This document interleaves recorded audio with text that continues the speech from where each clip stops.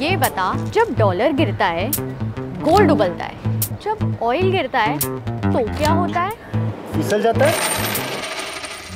सो so, futures में invest करना सही है अभी?